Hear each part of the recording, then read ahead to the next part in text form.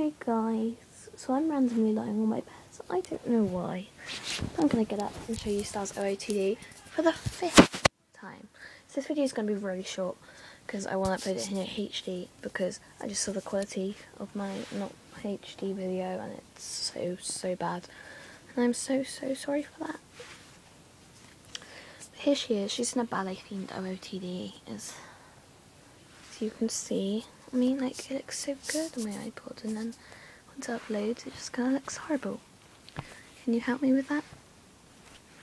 But she's wearing these two, and this is 100% perfect as the onesie, and um, she's wearing these cute little tights, which I think looks so cute with the legs spread out. Oh, yeah, I'll probably close them.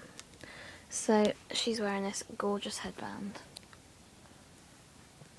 and it's really big though. But uh, that's her with that paci. And then that's her with that one. But yeah.